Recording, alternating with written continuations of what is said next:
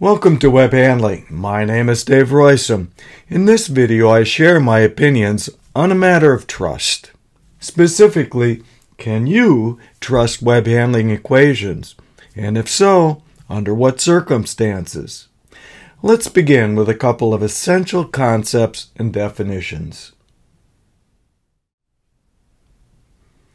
Trust is both a noun and a verb. They share the same two ingredients reliability and truth. Let's begin with truth, the simpler of the two. In mathematics, a proposition is a binary, either always true or always false, or alternatively, always correct or always incorrect. Embedded in every winding model is a foundational equation shown above. This is the result of a very short mathematical proof that is nothing more than Newton's law written in cylindrical coordinates.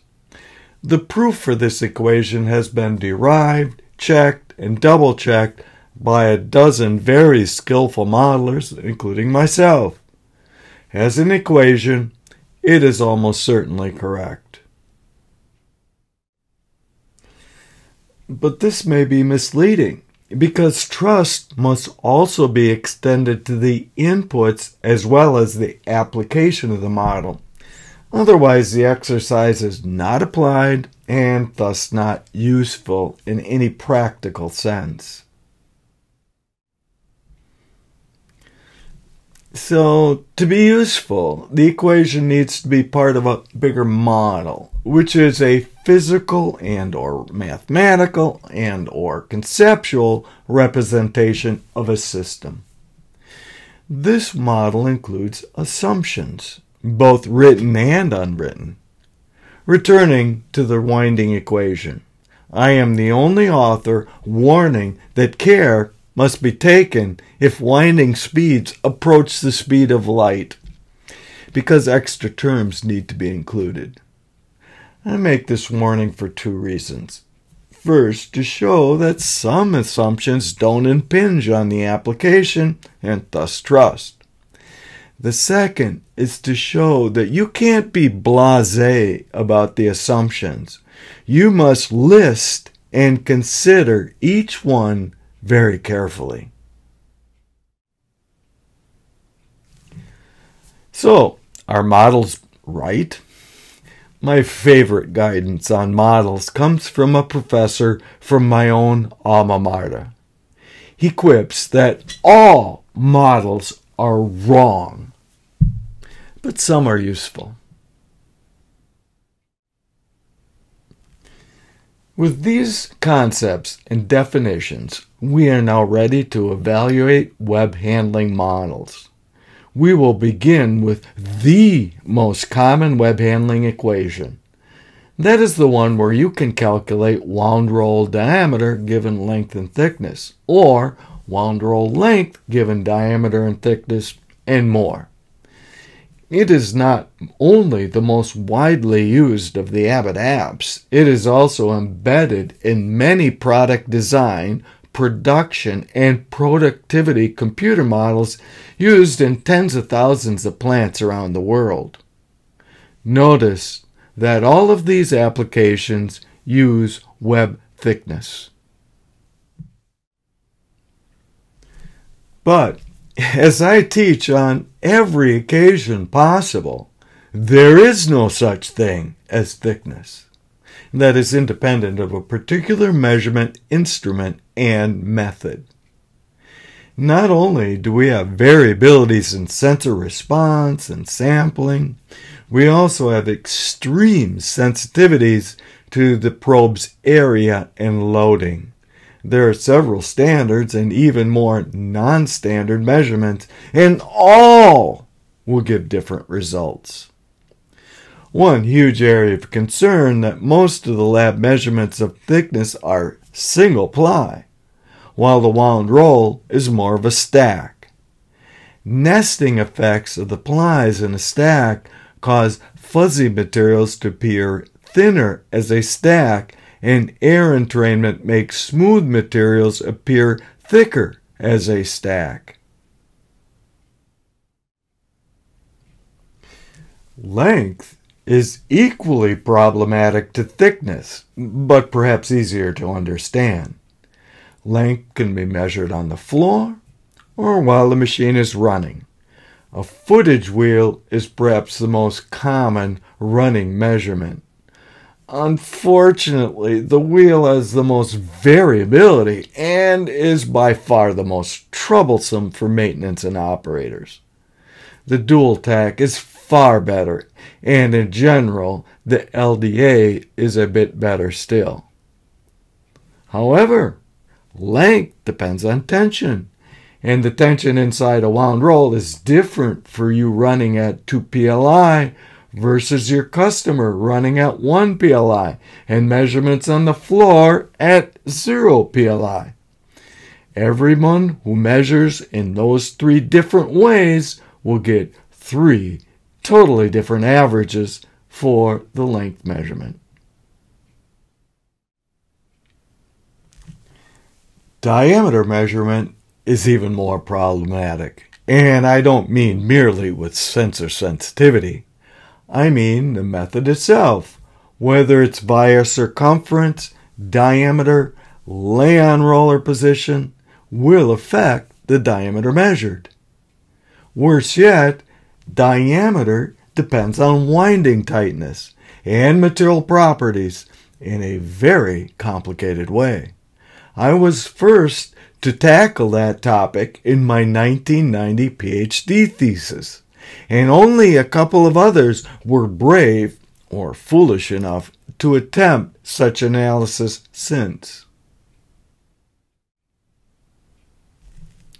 So, how good is this most common web handling equation? In the very best case, you might be able to predict lengths to perhaps half a percent.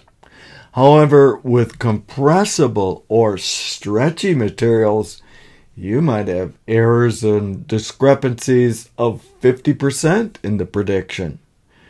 My YouTube clip below shows you how to improve on the wound roll diameter calculations without going into any theories such as we just outlined above. So, now let's move on from the most widely used to the oldest of the web handling equations. That is the equation for predicting whether a web will slip on a roller, which is essential to determine minimum safe wrap angles for either driven or undriven rollers. This equation is the century old band brake equation, which goes by many other names. We web handlers didn't steal it because no one owns it. We web handlers didn't borrow it because we're not giving it back. What we did was merely co opted it for our own use. Applications for the traction calculation are many and include both machine design as well as troubleshooting. The inputs and the outputs for the traction calculation are few and easily understood. Here we take an everyday example of how large of a tension change can be sustained over a roller of ordinary COF and wrap angle. Note, however, that we need to apply a safety factor to the tension ratio. Here we show how much of a traction performance boost that you can get by rubber covering. Instead of a 30% tension rise, more than a 130% can be sustained with a generous safety factor. The traction calculation also teaches us why a driven roller will just spin out on the web during threading if there is not some applied tension. Yet, even this oldest and quite widely used simple equation has its complications. See Chapter 4 of the Must Have Web Handling Handbook for a detailed explanation of how to measure the COF and the effects of air entrainment, vacuum, and other effects. Before we finish with this equation, let me add just two notes.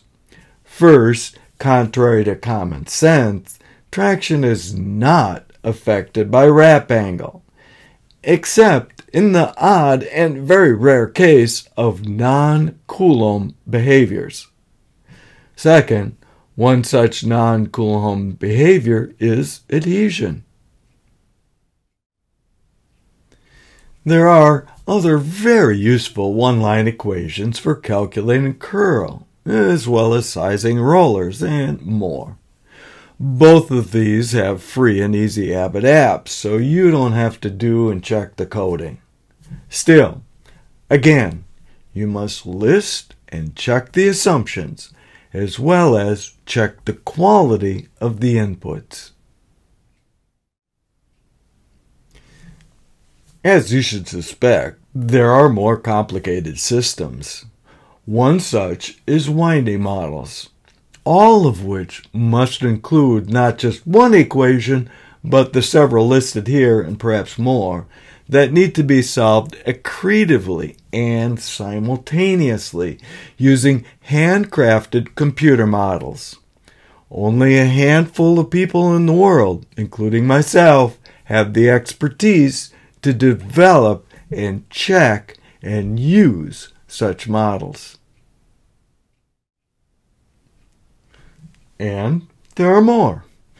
Even though I follow the work of authors such as this, I really can't follow the work of authors such as this. A PhD and a half century of expertise is not enough for me to follow work in adjacent areas, such as this control theory. Indeed, after listening carefully, I neither understood the question to be studied nor the answer that resulted.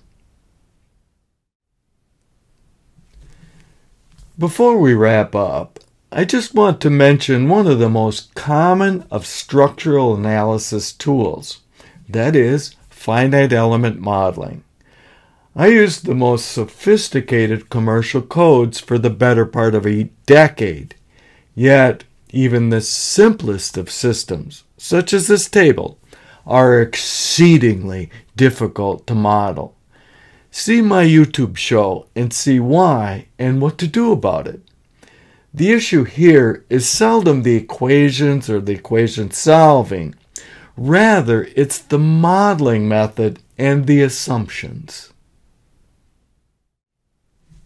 Let's summarize. The answer to whether you can trust equations is an emphatic no, never, not ever. However, having said that, you must use them when they are useful. Thank you so very much for allowing me to share my opinions on equations, modeling, and trust. If you have any ideas or questions about topics, let me know in the comment section below. If you found anything new and useful, please like and share and subscribe. See you next time.